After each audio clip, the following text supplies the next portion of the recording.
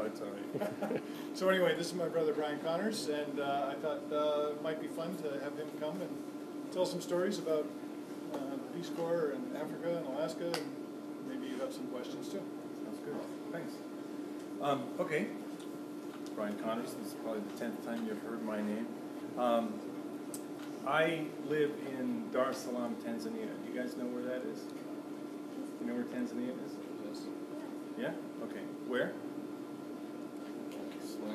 Below Kenya. Okay, above Mozambique. All right. You got you passed.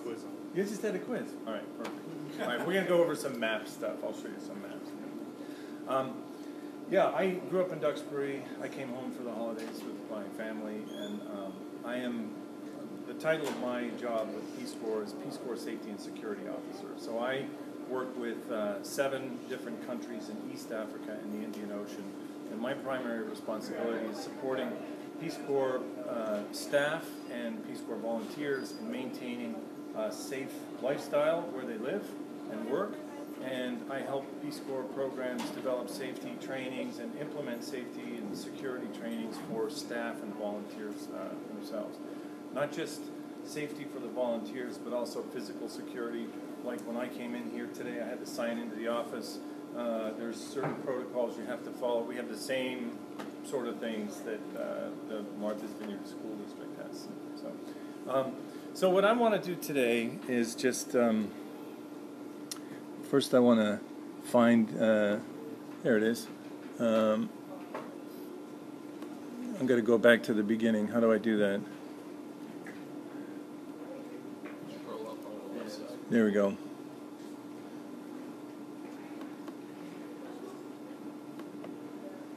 Okay, so um, yeah, Tanzania is right below Kenya. Um, I, I served as a Peace Corps volunteer in Kenya uh, back uh, in 1990 to 1993. Um, well, let me first ask: uh, Have any of you considered anything like? Or are you thinking about Peace Corps? Are you thinking about living overseas or traveling overseas at all? You are. Uh huh. Kevin is always right. Maybe in a little while. Every summer. Decades. what about you? What, what are you? What are you sort of thinking about? Uh huh. Oh, really? Where in Turkey? Wow, cool. That's great. Um, and you? Yeah, I just want to travel. Uh huh. That's great. Well, Peace Corps is a great way to travel. I can tell you that. It's super way. And who else raised their hand? Did anybody else? Um, ha- have you thought at all about something like AmeriCorps? You guys know what AmeriCorps is? AmeriCorps is a national community service program. I was an AmeriCorps director for nine years in, in Alaska, as Chris said. So I can talk a little bit about that as well. It's another way of providing, uh, is volunteering or um, engaging in community service work, but you don't have to go overseas unless you go to a place like um, Alaska, which is kind of like going overseas, you know. Um, but there are lots of opportunities, and in this day and age, whether you're going to college, whether you're going to trade school, whether you're going to start work right out of high school, some kind of community service. Um, my feeling is some kind of community service is vital to being involved in the community itself. Um, and so AmeriCorps is a great way to do it because you get a living allowance, you get a, a stipend, um, health insurance, and all that stuff. And potentially you get, after a year or two of service, you get money to pay off student loans or to, to go to um, school. So it's, it's quite uh, there's quite a good benefit to that. I think it's now it's like six thousand dollars a year that you get as an educational allowance. It allows you to go to um, college or trade school or you know community college or anything. It's a really good benefit. Um, and Peace Corps, of course, is after university, or um, most cases. I think 97% of Peace Corps volunteers have college degrees, and 3% don't, but they have a special skill or trade that's in, uh, in demand. And that is usually something these days like um, uh, web design, internet, uh, maybe engineering, or maybe not engineering, but um, you know, heavy machinery, something that where you're going to train someone in a developing country to, to do a skill that uh, that's in high demand. Okay. So I served as a Peace Corps volunteer in Kenya. Um, I was a history major in college. Okay, so I was not like a doctor or a nurse or a teacher for that matter. Um, but I'd lived in Alaska for seven years, and I used the pit latrine all the time, and I bathed out of a bucket, so they thought I could do, uh, uh, do what I, they wanted me to do. So I spent uh, three years in, in Peace Corps in Kenya, and I was a health and sanitation volunteer, and I taught people how to build pit latrines. So, if I could do it, by God, you know, I think anybody can do it. So, um, and then uh, from, so that, that was from 1990 to 1993. And then 1993 to 1996, I lived in Tanzania, and I worked uh, running a community wildlife conservation project in the Serengeti National Wildlife uh, Reserve, which is pretty cool. You guys know where the Serengeti is? I'll show you on a map. You guys watch the National Geographic Channel, like the big cats, or you know, watching the wildebeest? Okay, well, you'll have to do that for homework. Okay. Um, anyway, Tanzania is one of the probably one of the greatest wildlife destinations in the world uh, for African wildlife. Anyway. Um, and then in 2006, I lived in Alaska for 10 years, and then in 2006, my wife and I and our children went back to Africa. We lived for four and a half years in Malawi. I'll show you that on a map. You know where Malawi is? Right next to Mozambique. Okay. Um, so we were there for four and a half years, and I was environment program director. And after that, moved to Tanzania to take a, a position as training director. Um, okay. So Peace Corps is a national or international community uh, volunteer agency. It's, we are part of the U.S. government, um, but interestingly, it's uh, Peace Corps director sits on the cabinet. It's on the president's cabinet. It's an independent national agency. And our goals, we have three specific goals that were developed in 1961 by the, who was the president at the time? 1961? One of the, the founders of Peace Corps is John F. Kennedy. And, uh, and he, the three goals that came out of it are to help people in interested countries develop uh, their manpower or uh, you know trained labor force, um, uh, increase and improve education, um, and not for a Peace Corps volunteer to go in and actually do everything, but to go in and have a counterpart or a group of counterparts and to train people how to do things, right? Train people how to be better teachers, train uh, health workers how to be better health workers, etc. Um, the second goal is to promote a better understanding of Americans on the part of the people served. So a Peace Corps volunteer uh, uh, lives in the, uh, the country where she's living or he's living, and um, just by virtue of the fact that they're living in that country, living in a village or in a small community, uh, living with host country uh, national neighbors and, and working with people, they begin to uh, inform or educate people about what Americans are like, just by virtue of the fact that they're being there, right? And then the third goal is to promote a better understanding of the people where Peace Corps volunteers serve on the part of Americans. So your grandmother, when she served as a Peace Corps volunteer in Turkey, I, you might have heard her stories over and over again, right?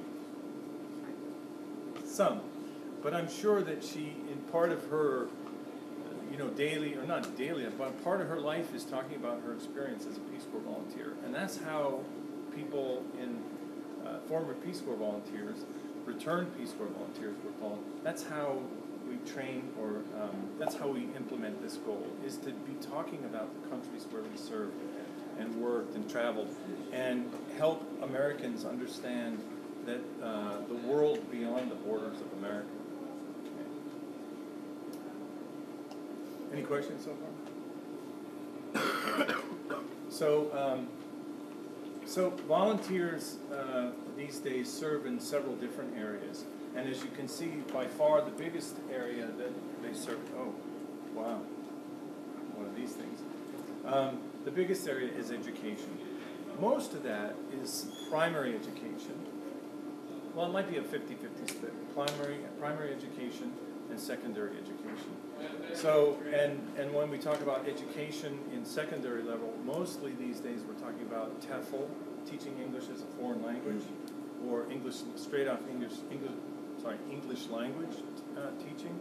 Some Peace Corps volunteers actually teach other teachers in maybe a teacher training college, uh, a university, so they're preparing host country teachers to become uh, better teachers and to have improved their uh, technical skills and such um, in, in the classroom. Uh, there's a lot of um, focus these days, uh, and always has been with Peace Corps, on health. The fundamental key to development is health. A, a, country and a people cannot develop properly unless there's a, health, a healthy workforce, a healthy, healthy student uh, population.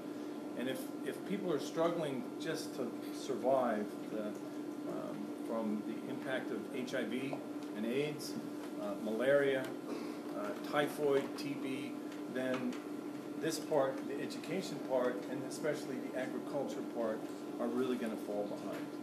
So health is a pretty critical uh, aspect of what Peace Corps does. And honestly, in all of these areas of Peace Corps service, there are health activities built into all of them. So you might be a teacher, but Peace Corps is going to train you how to integrate health messages into your classroom teaching. You might be an agriculture volunteer and showing people how to build permagardens at their homes, but you're going to be doing health and nutrition as well. Same would be for environment. You're going to look at climate change potentially or wildlife conservation, but there's going to be health aspects in that because again, health is so critical to uh, to a nation's development.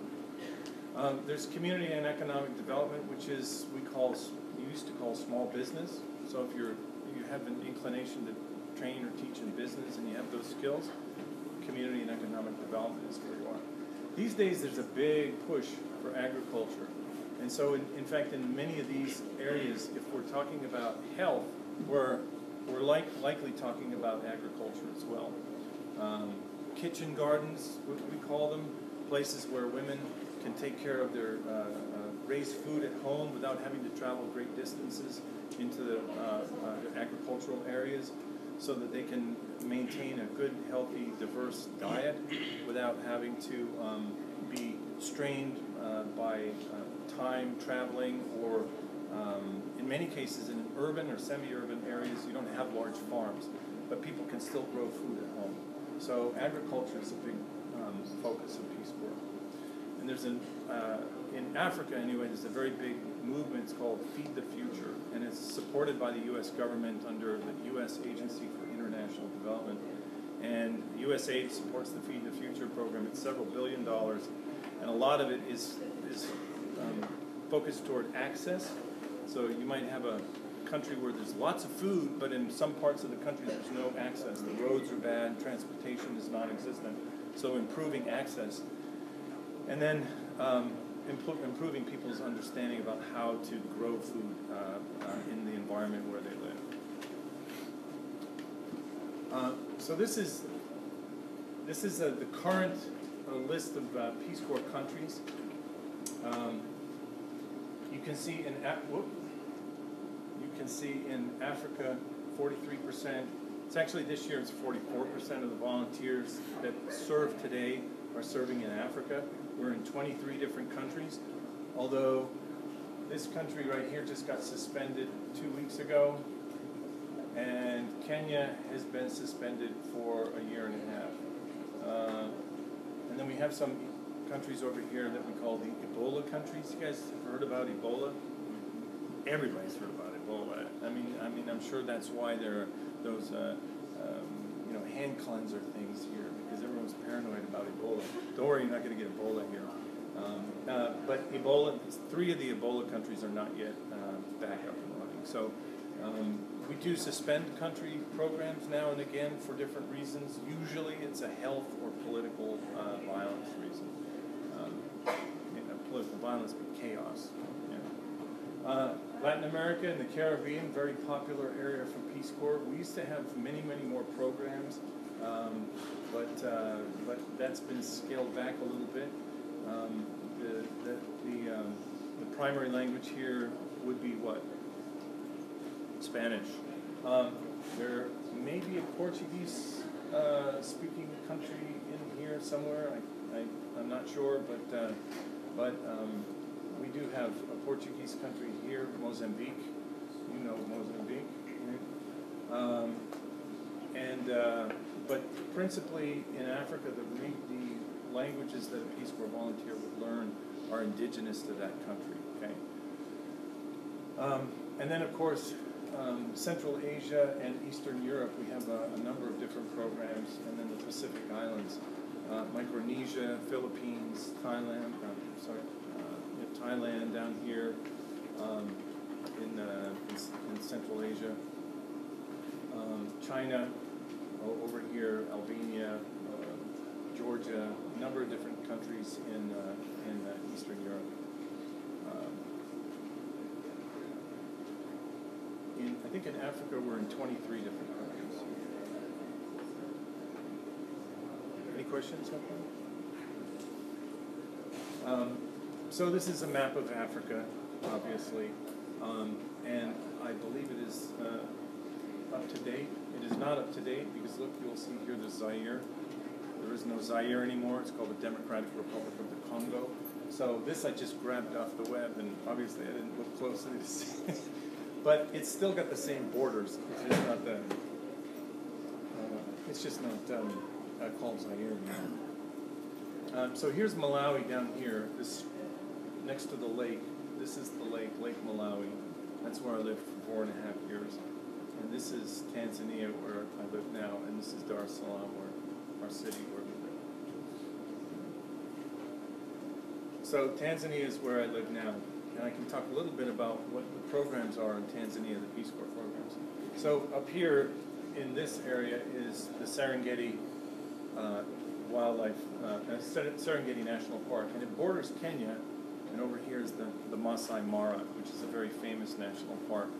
Um, and it's one ecosystem, so all the wildlife kind of circulates between these two ecosystems, and then there are some more here the Maswa Game Reserve and the Ngorongoro uh, um, National Park uh, or conservation area. So they're all one big conservation area and ecosystem. So I live in Dar. Uh, we live in a nice house, and my children go to the International School of Tanganyika, uh, which is a local school, but it's international. Um, our 17-year-old, I think she has one American in her class, and all the other kids are from Belgium, Guatemala, India, Pakistan, China, Japan, from all over the world, Tanzania even. Um, and uh, I think the same is true for our youngest uh, daughter, Caroline. She's 10, and I think she's might be there might be two other Americans in her class. 26 students, only two Americans. So it's very interesting the kind of the environment that they're learning in and and such. Um, but we have volunteers uh, down in this part of the country, in Songea and in Njombe and over here by Mbeya. Um, and a lot of them are doing are teachers. We have teacher three programs in Tanzania, three principal Peace Corps programs: uh, education, secondary education, um, health, uh, and mostly working with HIV and AIDS uh, and malaria, and then other secondary activities like youth development. And then the third program is agriculture and environment. And the agriculture is mostly working with uh, women and, uh, and students to develop, um, build capacity or build their ability to, um, to improve their uh, food diversity and, um, and, uh, and crop availability near their homes. So that, again, they're not traveling great distances. Because women also, in the developing world, women travel great distances to get firewood. And what you don't want to do is further burden people by saying, we have to go 10 kilometers and grow your crops. And you have to go 10 kilometers to get firewood because it's too much time away from the home. Uh, the security is not so good and, uh, for women traveling great distances, and it's time wasted. So we're focused on helping people develop um, agricultural uh, uh plots near their homes that serve their families' needs. Uh, Tanzania is about 50 million people It's quite a big country. Kenya is probably somewhere around the same, um, but Kenya has only about 15 or 20 percent of the country is called arable land. That's land where people can actually farm and live on and subsist. Tanzania is significantly more than that. Um, this central region of the country is very dry, almost desert-like in some areas. Singida, it's just like driving through a desert.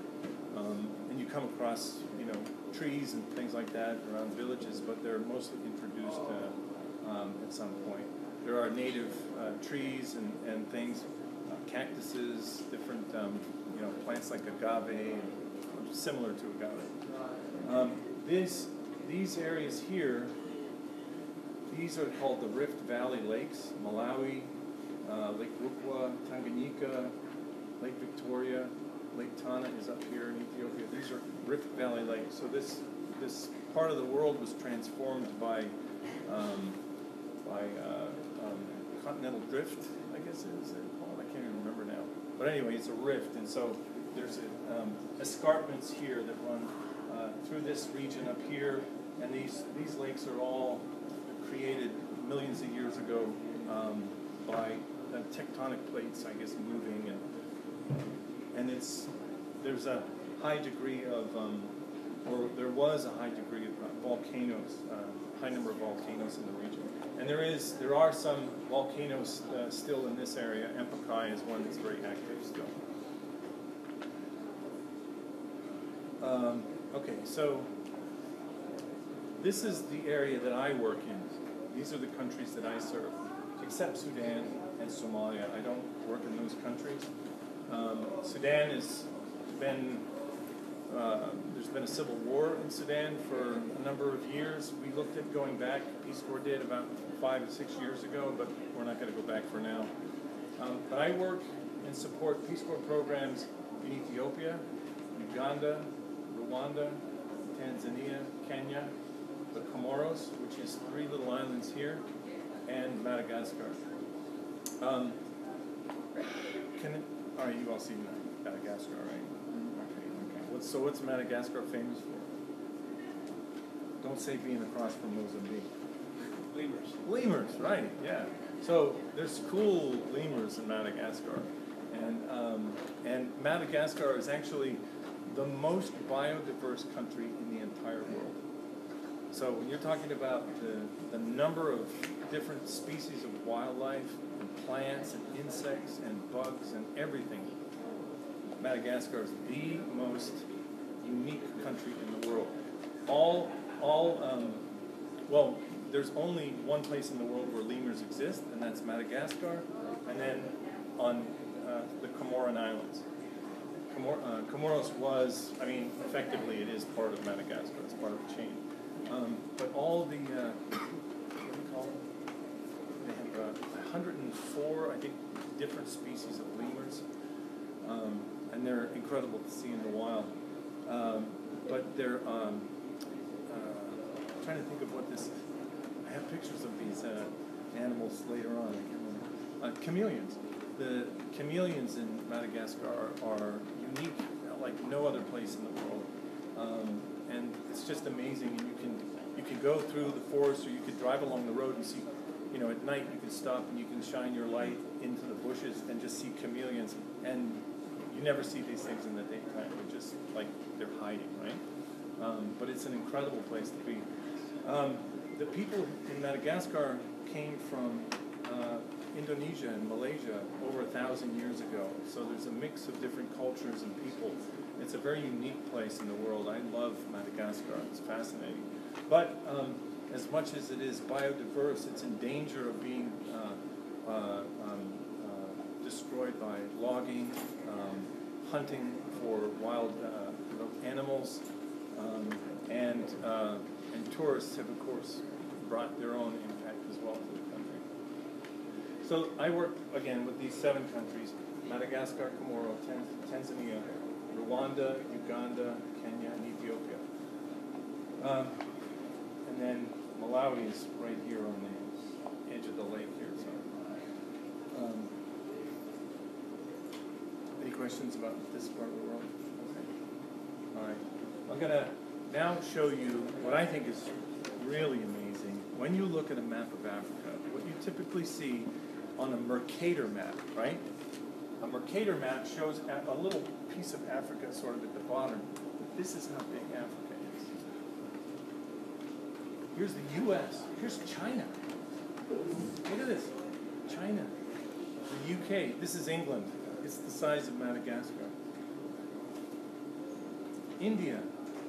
So I work in a region that's like the size of part of Eastern Europe, India, and the United Kingdom. I mean, when people ask me why it takes so long to get from Tanzania to Ethiopia, I'm like, look, look at look at the map. look at Germany, France, Spain. This is huge. So you take all these countries in the world. These are some of the biggest countries in the world and most populous. This is the square, yeah, square kilometers. So, I mean, Africa is an absolutely enormous place. 60 some countries, okay, so very unique in terms of language. There are over 2,000 languages, indigenous local languages in Africa. It's not one place, one language. Um, a place like Tanzania, there are 130 local languages in Tanzania. 130. 40 million people, 130 languages. Okay. Kenya is about the same. It's maybe 60 languages. Um, and in the northern parts of Kenya, where the Maasai, uh, the Turkana, the Samburu, the, uh, they live, uh, many, many people live in the northern uh, areas, uh, in the desert, um, and they're herders.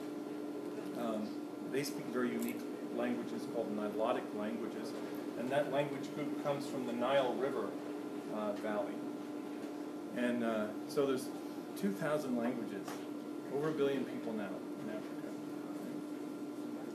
Um, I speak Swahili um, fluently. I've spoken Swahili for many years. I studied it in college. It was one when I was your age. My I had two goals in life. I, I wanted to live in Alaska and I wanted to live in Africa. And uh, when I finished college, I, I haven't lived any place else but those two places. Um, and I studied Swahili in college. And so I've been speaking Swahili for about 30, 35 years. I guess I'm dating myself, but yeah. Um, but this, you know, you can you can go to Cameroon, which is um, Cameroon, which is here. I, I mean, each one of the, I'm just, you know, I have been in many countries in this region. I've been to Senegal here, but there's a lot of the world to explore. Democratic Republic of the Congo alone, hundreds of languages, and places that, you know, like in the Amazon, you know, parts of the Amazon where people have rarely explored. Again, this is just like Central Africa. I mean, it's it's wilderness, but there are people there. There are cultures of people living. And, um, it's a fascinating, to me, uh, a fascinating place. But when when I when I look at this, it's just amazing to see the size of the place because you don't think when you're looking at a map, you don't think that Africa's this big, but it's huge. Um,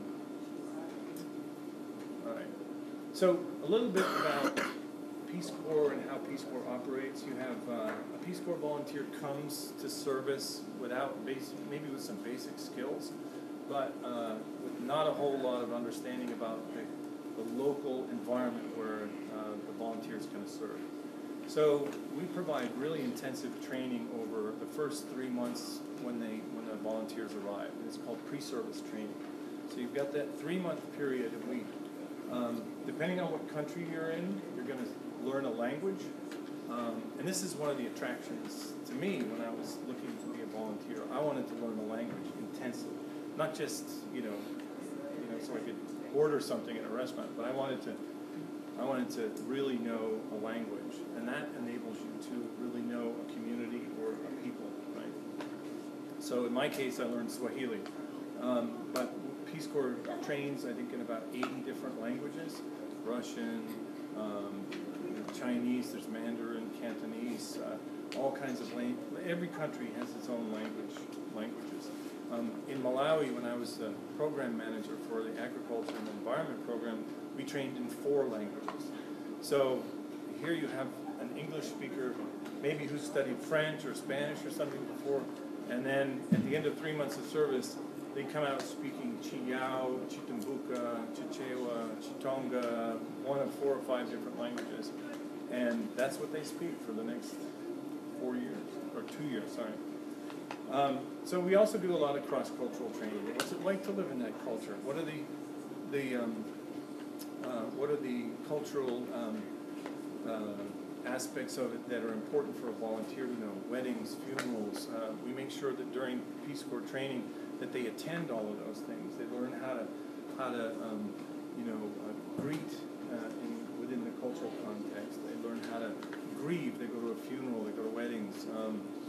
And, and they learn the important things in that culture that are going to help them to be a successful member of the community wherever they're, wherever they're living. Um, volunteers get technical training during pre, pre-service training. In many aspects, your technical training is some ways secondary to all the other stuff because your first couple of months in service are going to be are going to be um, you're, you're going to integrate. You're going to find out what your community is like. You're going to learn more about the people that you're living with and working with. And the technical stuff will come maybe a little bit later. So you'll get a baseline, you'll get some technical training. Some of it's very intense, and it's enough to get you through the first couple of months of your service. And then after that, you'll get more training, uh, technical training at different points in your service, more intense technical training. Um, and we give volunteers a lot of safety and security training during that first three months of service. That's part of what I do. Um, but it's, it's integrated into everything that, uh, that, that staff and other training uh, uh, managers do. So, and every, every couple of months, as a Peace Corps volunteer, there's other types of training available for it. Well, we do a lot of health education training. Some of it might be uh, what's called Zinduka or grassroots soccer. Grassroots soccer is a way of training uh, youth, um, especially 10 to 17 year olds, on uh, healthy lifestyles, um, prevention of HIV and AIDS, malaria, that sort of stuff. And it's using soccer as a metaphor. So it's it's not actually playing soccer, but it's using soccer as a way of teaching. Okay, um, health messages. Um, a lot of work in agriculture and food security, and even if you're a teacher, you can still take advantage of these kinds of training. Um, and these are these are primarily, as I said, some of the main technical areas that Peace Corps volunteers serve in. Um, picture of someone teaching. I don't know what language that is.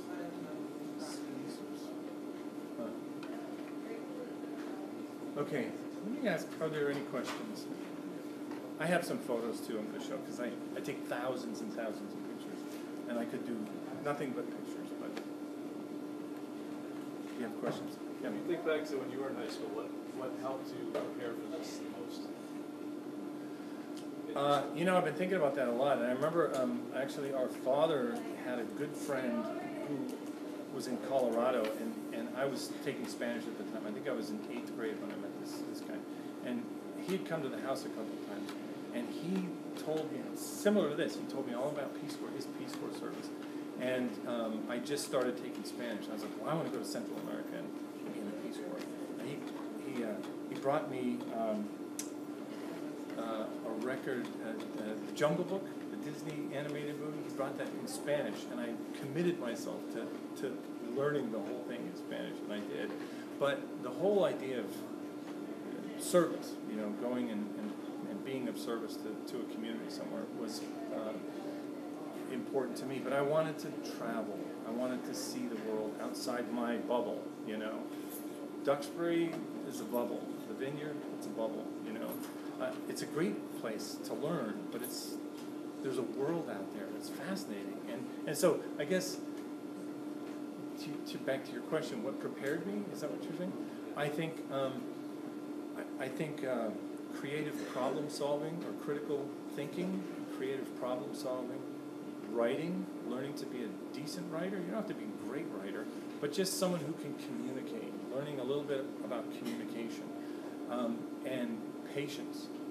Uh, there's nothing that a Peace Corps volunteer doesn't need more than patience. Uh, because nothing happens overnight. And your grandmother, as a Peace Corps volunteer, maybe still wonders, I wonder if that teaching lesson that I did for two years uh, in, you know, math, I wonder if that was useful to those students. You know, you still probably wonder, did I do what I set out to do? But I think that with patience, uh, you're able to implement what you can in, in the community. Um, and then and then you know just sort of you know lay it all out be committed be disciplined i think discipline is a big uh, was a big factor for me. I was not the most disciplined uh, student. I mean, Chris is younger than I, but I was not the most disciplined. But I think learning to be disciplined, I, both in my studies and my and my daily life, was important to being successful in, in this because you have to stick to it um, and you have to be committed to it. And um, if you don't have uh, if you don't have that, if you don't if you don't feel committed and disciplined um, in what you're doing, it, it, you can struggle because then you develop impatience. Then you become less patient and able to uh, to kind of go with the flow. Um, did I answer your question? Yeah. Did you? Yeah. Um, I was just gonna add something to what you said, maybe take the opportunity to study abroad when you're in high school Oh, and yeah. college. Mhm. Um, my younger daughter actually last night arrived home from Tanzania. Oh, She you're studied kidding. abroad in Tanzania for four months. Oh, And wow. the pictures she showed me last night before she crashed were amazing. Oh my Um, gosh! Wow. So, Yeah. I was hoping she was gonna come today, but she's asleep. Oh yeah. Um, but just taking that opportunity to Right. experience different cultures. Right. She lived with a side family for ten days and, um, did Yeah. amazing things that I Yeah. didn't even know about yet. So taking that opportunity. um, Right. To study abroad and experiencing those cultures really well. It's exactly right. If any opportunity you can get to go somewhere, to travel, take it. It'll expand your way of thinking, it'll expand your um, commitment to what you want to do in your life anyway. It'll bring you different ideas, different ways of thinking about the world or your own little world, wherever you're living. Um, you know, just being open to experiences is, is critical in developing, um, uh, developing along the way toward being whatever you want to be. I mean, being open, but international travel, or just travel if you want to go to New Mexico, or if you want to go to Colorado or Washington State. I mean, just getting out of wherever your community is is important. Meeting different people, finding out what their cultures are like.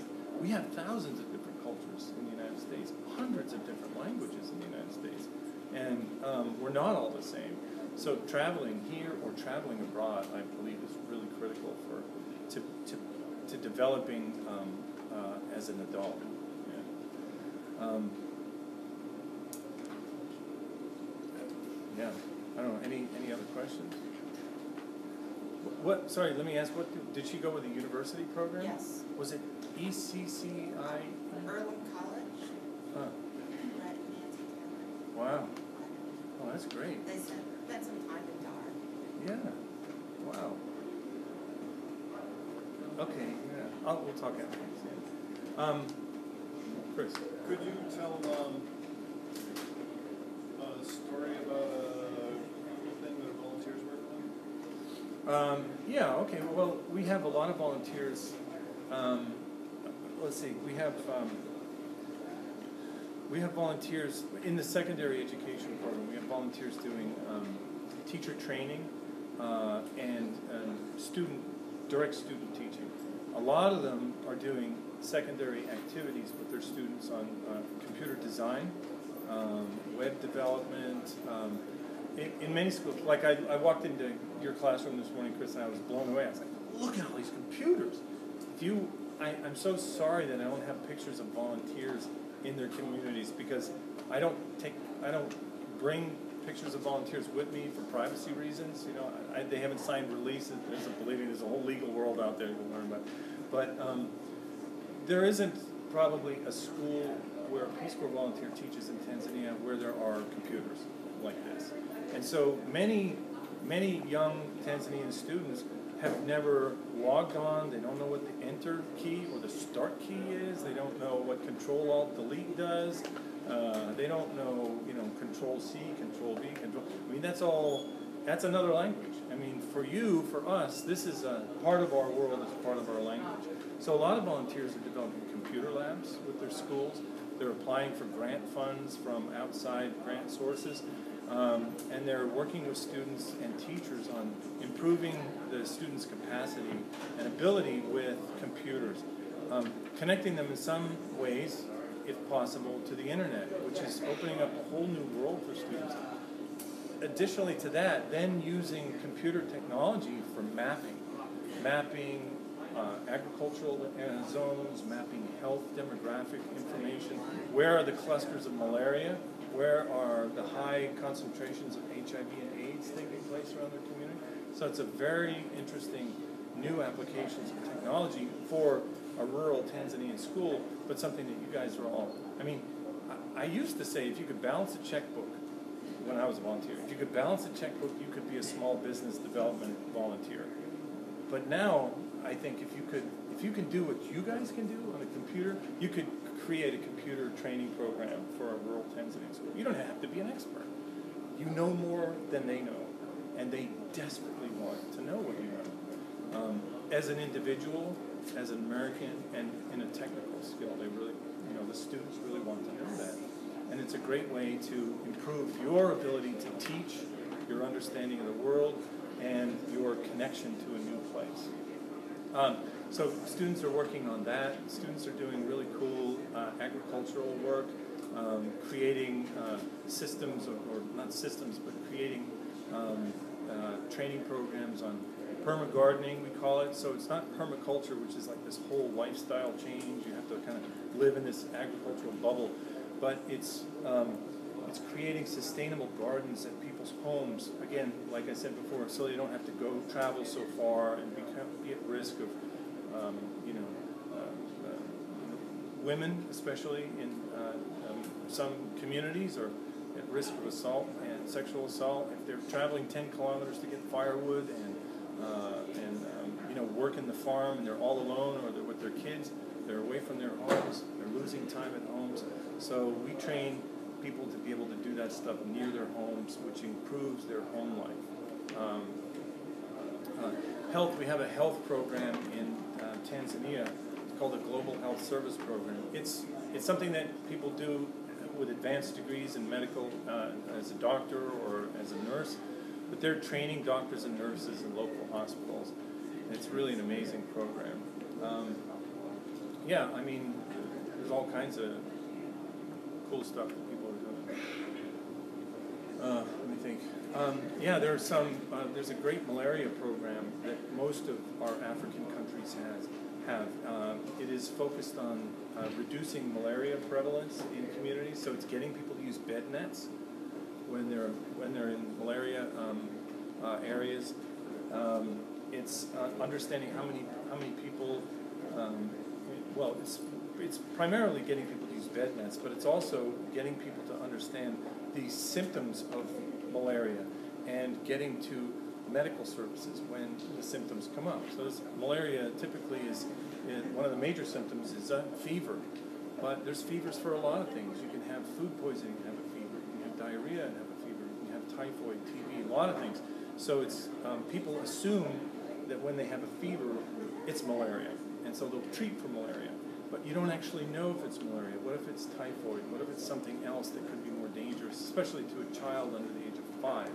So Peace Corps volunteers are helping connect, um, helping connect uh, um, people to clinics, and then working with the clinics to provide outreach directly to people's homes, going to people's homes and bringing test kits so that they can actually test in the home.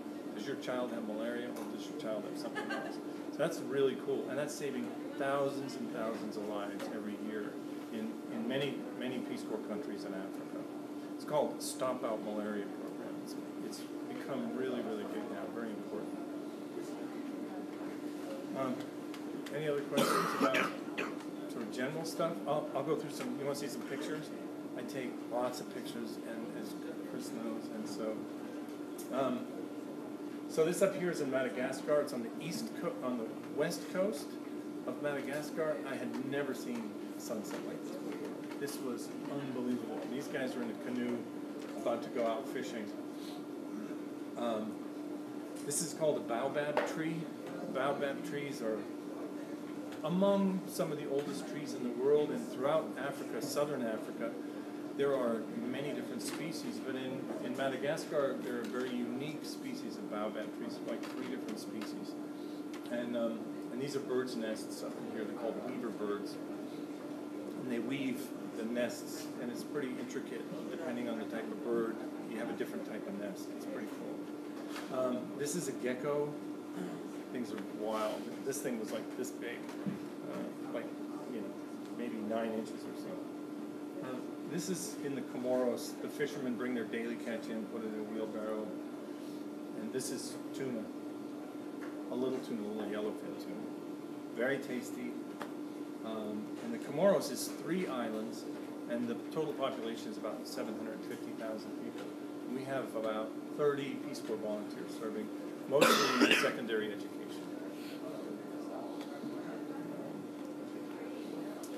Uh, this is a Livingstone bat. The wingspan is about seven feet. So I am six foot nine. So the wingspan on this bat is it's enormous, and they fly around in the day. I mean, go figure. I mean, bats are nighttime animals, right? These things are like seagulls. You don't even see seagulls. They're all over the place.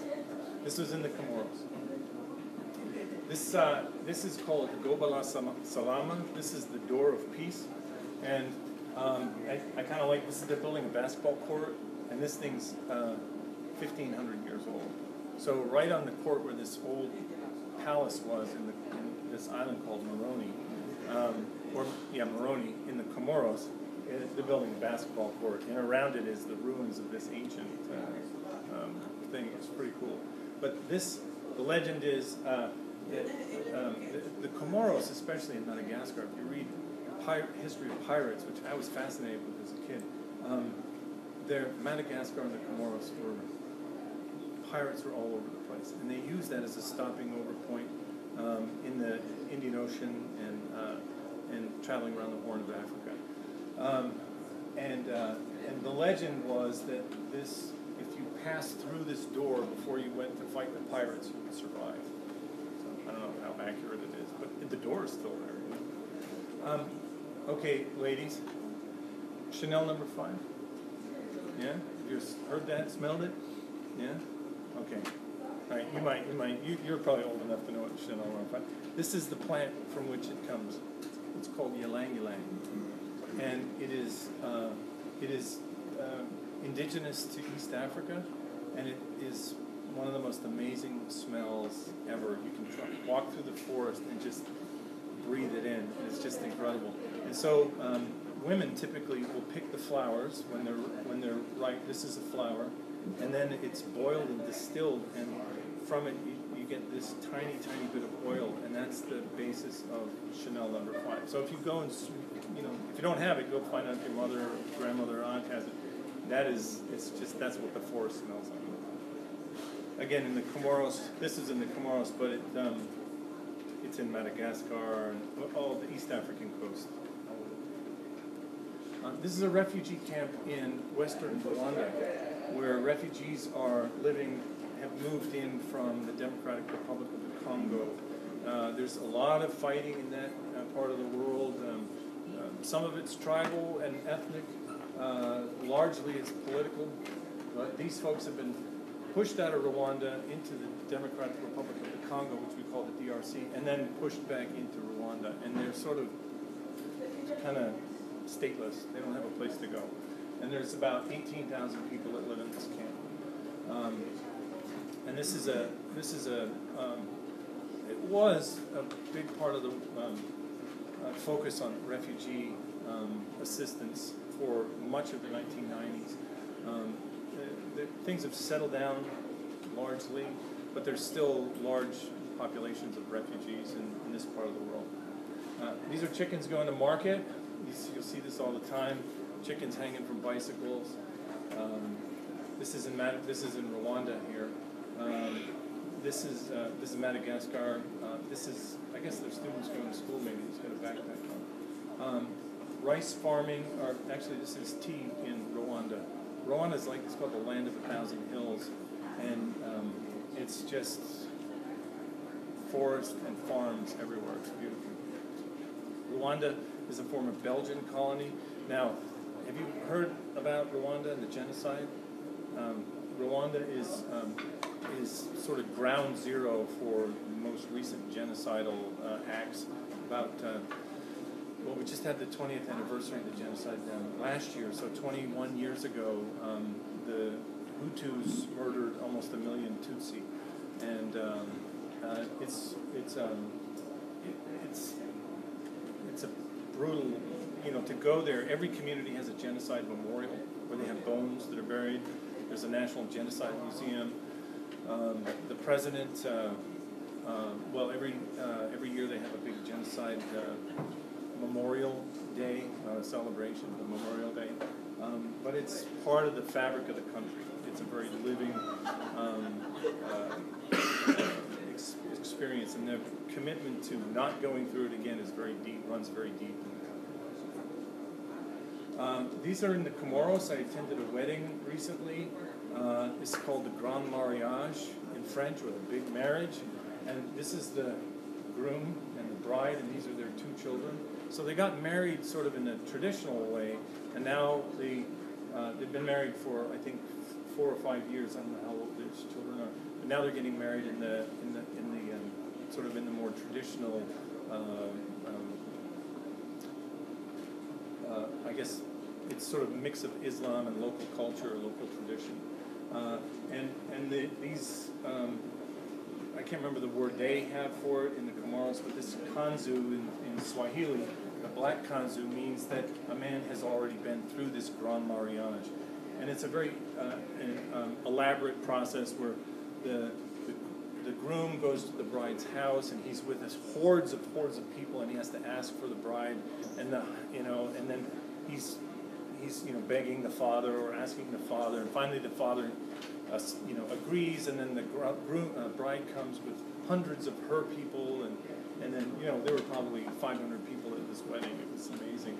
Um, and I was right on the floor. I had the, I had the front row seats I didn't mean to be there I didn't know I was going to be there suddenly I'm in this room dripping with sweat and this all this guy's uncles and everyone were asking the father, can this guy marry your daughter? Now, of course, they're already married, but this is the official, you know, marriage. Um, it was an amazing experience. Um, and he's got a sword here. And, no, it was pretty wild. This is Madagascar. Um, and uh, this is also on the Comoros. Uh, you see, there, the, the women have this yellow mask on their face. Uh, it's sandalwood. It's a, a wood that they grind into a powder, and um, and it's a beauty treatment that the women use. It's also a sunblock because it's very hot and sunny. So they'll have this on, and it has it has a beautiful odor to it too. So I'm sure there's a perfume effect. Um, but they were making uh, food for another wedding, not this wedding, uh, but another wedding that was going to take place that night. So, uh, this is Rwanda, man. This is this is great. Uh, this is my daughter Maria. She's she's um, 17. She's going to be going to university next year, somewhere here. And we went trekking to see the gorillas uh, and the golden monkeys. These guys are great. These golden monkeys are just crazy. They're running all over, and they eat all they eat is bamboo. So they'll rip down the bamboo, chew on it for minutes, throw it aside, go find another one, and. Uh, and look, I mean, I had long lenses. I had shoot with long lenses, but I was only ten feet from this big one. And this guy walked right by me, the little one. I mean, you're not supposed to touch him because if you touch this, this one will then rip your head off, I suppose. Uh, but this is a silverback gorilla, um, and there are I, I don't remember how many families, but in the Virunga National Park there are um, a certain maybe ten or fifteen family groups of gorillas. They're endangered. There are only 700 or so left. Uh, this is local transportation in Rwanda. Look at that baby there, little guy, born about three weeks before I shot the picture. And this is a yawn. This is not anyone pissed off at me. And that's in Botswana, in the in the Okavango Delta. And we were in the boat, and we came around the corner, and there's this elephant right in front of us. Um, Madagascar, this is a lady that cooked our breakfast, and uh, she got a picture taken for the effort. Um, Malawi, wild mushrooms, just these huge mushrooms, beautiful mushrooms. Um, anyone know what this is? Yeah, big black scorpion, things like this big. These are the some of the chameleons. Oh, I had the chickens again. Uh, this is the Comoros. This is like outside my hotel room. Shrimp. This woman measuring shrimp. Okay, looks like that's it. I could have shown hundreds of pictures alone, but uh, anyway, um, I guess to sum it up, I would encourage you to think about the world, think about community service, national community service, or international community service. Peace Corps is a great way to do it. I thought I was going to go and live in Africa on my own, and I was saving money to go do it. And then I realized I can I get someone to train me, train me in the language, learn the culture, safety and security training, pay for my ticket, my housing. I'd rather do it like that than pay my own way. So that's a great way to do it. Um, any other questions? Thanks very much. Yeah.